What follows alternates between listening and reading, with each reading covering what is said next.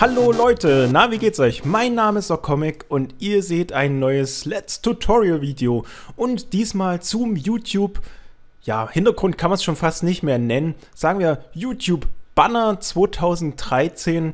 Der komplette Hintergrund wurde ja entfernt und stattdessen dieses äh, Banner hier oben eingeführt und ich möchte euch heute so ein bisschen vorstellen, wenn ihr denn ein Banner entwerft bzw. einen Hintergrund, worauf ihr achten solltet.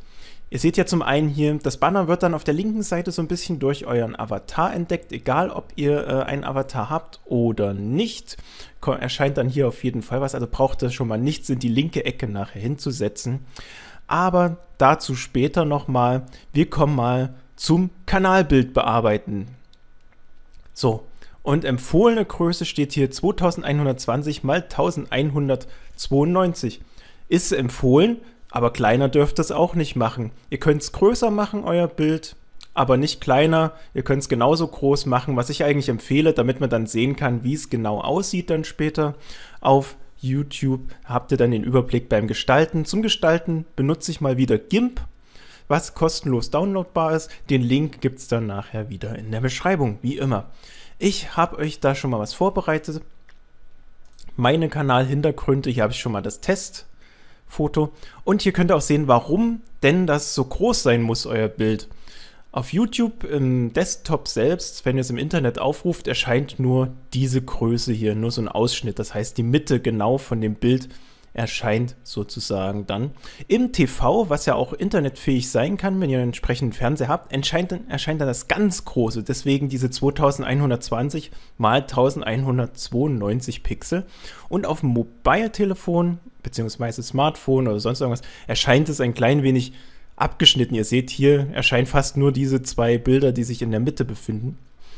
Wenn ihr dann ein Foto habt oder ein Bild, was ihr euch erstellt habt, hochgeladen habt, zuschneiden wollt, dann seht ihr hier schon mal, was in der Mitte beim Smartphone erscheinen würde. Also hier in dem Fall nur die und abgeschnitten das hier, so ein klein wenig. Das hier ist dann wieder das ganze komplette Fernsehformat, was erscheint. Könnt ihr auch nicht verrücken, weil es genau die Größe ist von YouTube. Wenn ihr es jetzt größer machen würdet, könntet ihr es auch verrücken, zeige ich euch auch gleich nochmal. Und äh, was noch wichtig ist, das hier ist zwar das Smartphone, also ist zwar der Ausschnitt für das Smartphone, aber wenn ihr links und rechts noch ein bisschen weiter ausdehnt, quasi in dem Sinne, wenn ihr euch das weiterdenkt, dann ist das, was hier noch kommt, nach links und rechts in der Höhe, genau der gleichen Höhe, die komplette Breite, das, der YouTube-Hintergrund auf äh, dem Desktop. Das seht ihr ja hier, Search Simulator und auf der rechten Seite habt ihr dann komplett Little Inferno. Ist auch hier ein bisschen abgeschnitten, genauso wie es hier ist. Ist also die komplette Breite. So, gehen wir mal in die Galerie, da könnt ihr das nämlich gleich besser sehen. Wenn ihr jetzt ein Bild habt wie dieses, das seht ihr jetzt hier, das ist höher als das von YouTube empfohlene Format, dann könnt ihr das auch noch ein bisschen hin und her rücken. Wenn ihr jetzt noch ein bisschen breiter habt, könnt ihr es auch noch nach links und rechts verschieben. Hier ist es nur ein ganz klein wenig breiter. Und da könnt ihr natürlich dann den Surfer hier zum Beispiel genau in die Mitte setzen. Und genau in der Mitte wäre natürlich super, weil das dann auch auf dem Smartphone erscheint, wie ihr hier sehen könnt. Und immer dran denken, hier rechts würde dann irgendwo das Avatarbild einmal im Handy und einmal hier im Desktop erscheinen. So, das laden wir jetzt aber nicht hoch. Wir gehen jetzt mal ins GIMP und dann gucken wir uns das mal genauer an und dann sage ich euch noch ein bisschen was zu den Größen. Ich habe es ungefähr genauso groß gemacht wie hier, dass es in der Mitte erscheint. Ihr seht, es ist ein ganz klein wenig Verschnitt dabei gewesen. Also hier ist noch ein bisschen was von dem, was hier drüber ist, was eigentlich nicht sein sollte. Ich muss es noch ein bisschen größer ziehen, damit das dann nicht mehr so ist. Aber damit euch das nicht passiert, sage ich einfach, macht es ein klein wenig größer. Und ähm, das könnt ihr am besten steuern über die ähm, Leinwandgröße. Ihr könnt euch euer Bild entweder gleich direkt von vornherein so einstellen auf diese Größe, die Leinwand. Hier ist es ja perfekt, 2120 x 1192. Oder wenn ihr euch ein Bild importiert, könnt ihr es ja auf der Größe nachher anpassen. Also hier habt ihr dann die Möglichkeit auch bei Bild das Bild zu skalieren auf die entsprechende Größe, aber lasst bitte ähm, das hier drin, dass ihr nicht das Bild quetscht oder zieht, sonst sieht das komisch aus, wenn ihr das nachher hochladet. Das demonstriere ich euch dann auch nochmal. Jetzt geht es eigentlich erstmal darum, woher weiß ich denn, was überhaupt angezeigt wird in der Mitte. Und dazu ähm, brauchen wir eine Hilfslinie, die finden wir auch bei Bild. Dann hier neue Hilfslinie erstellen, nicht in Prozent, weil ihr wisst ja nicht, wie viel Prozent das sind. So, neue Hilfslinie erstellen. Wir wollen sie horizontal, horizontal ist ja so, ne, in der Breite. Und da macht ihr ungefähr 415. Und da seht ihr, habt ihr noch ein bisschen Platz nach oben. Und dann braucht ihr ja noch, müsst ihr ja noch ungefähr wissen, was dann unten ist. Deswegen geht er auch wieder auf Bild Hilfslinie, neue Hilfslinie und macht das ungefähr bei 775. Dann habt ihr auch ungefähr ein bisschen nach unten Platz und nach oben. Dann kommt das auf jeden Fall in die Mitte. Genau abschließen wird schwierig auf jeden Fall. Ich sage immer auf jeden Fall, es tut mir leid, heute habe ich irgendwie eine Macke. Ähm, ja, habt ihr hier äh, hoch und runter noch ein bisschen Platz, damit ihr dann wisst, ah, da ist meine Gestaltung, die kommt dann hier in der Breite auf YouTube. Und ihr könnt ja dann nochmal schauen, ähm, wo haben wir es denn? Kanalbild bearbeiten, meine Fotos, Foto zuschneiden.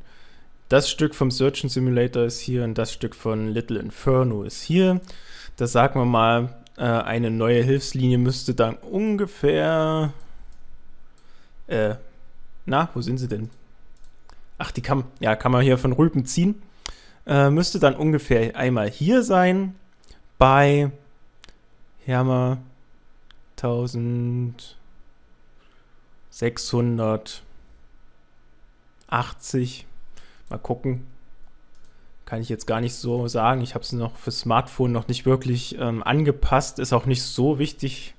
Wird zwar immer mehr die Nutzung, aber ähm, ist ja auch nicht so tragisch, wenn das nicht ganz hundertprozentig hinhaut. Machen wir mal vertikal. Sagen wir mal 1700. Ja, ist, ist ungefähr so. Also 1700 und dann haben wir hier nochmal, dann hat man gesagt, ungefähr das Stück vom Surgeon Simulator wird noch angezeigt. Da haben wir hier 200, 300, 400, 4, ja, so bei 400 Pixeln, 410, 410, sagen wir mal 410 müssten es sein. Äh, Hilfslinie, neue Hilfslinie, 410. Zack, ist ungefähr hier. Also habt ihr jetzt hier den Smartphone-Bereich, hier den kompletten YouTube-Bereich und da könnt ihr genau da die Einstellung reinstellen von dem Bild, was ihr in der Mitte haben wollt. Das könnt ihr ja komplett alles noch verrückt. Also ihr könnt ja das Bild auch äh, skalieren, vergrößern. Ich habe ja hier meine YouTube-Hintergründe äh, eingestellt dafür das Ganze. Habe ich hier verschiedene Ebenen verwendet, die man dann auch verknüpfen kann und so weiter. Man kann das ja dann auch rücken, äh, wo man das hinhaben will. Wenn ich das jetzt hier ähm, hinhaben möchte oder die Größe anpassen möchte, dann kann ich das ja jederzeit noch tun. Ansonsten, wenn ihr ein komplettes Bild, wie zum Beispiel ein Wallpaper oder sowas habt und das ist nicht ganz die Größe, dann zeige ich euch mal, was ihr da machen könnt. Das Bild habe ich genommen, weil wenn ich mir mal die Leinwandgröße aufrufe, ist das größer und breiter als das, was bei YouTube verwendet wird. Und das könnt ihr aber noch ändern.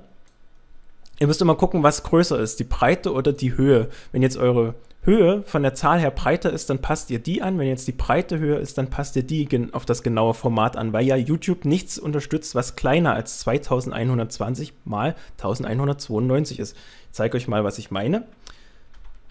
2120 passt da auf 1590 an. Also ist ein bisschen höher als das YouTube-Bild. Hier könnt ihr es auch noch verrücken, wenn ihr auf das Bild geht, dann, damit ihr wisst, was ihr in der Mitte habt, könnt ihr es auch zentrieren, wenn ihr wollt. Aber wenn ich jetzt ähm, das Ganze rückgängig mache und einfach nochmal die Höhe anpassen will und lasse das ähm, auch alles schön verknüpft miteinander, mache 1192, dann würde die Höhe kleiner als 2120 und dann würde das YouTube wieder nicht nehmen. Also deswegen passt einfach die, die größere Zahl an, damit das erstmal passt. Könnt ihr ja zentrieren, wenn das bei euch passt. Ansonsten rückt es euch so, wie ihr es haben wollt. Ich zentriere es mal. Mache dann Größe ändern.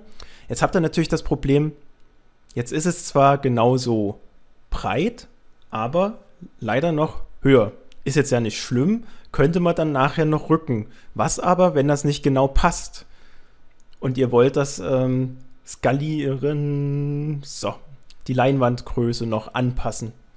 Das haben wir jetzt gerade gemacht. Ähm, aber ihr seht ja, das schneidet ja auch ein Stück davon ab. Ist natürlich blöd, wenn man nicht will, dass da so großartig was abgeschnitten wird.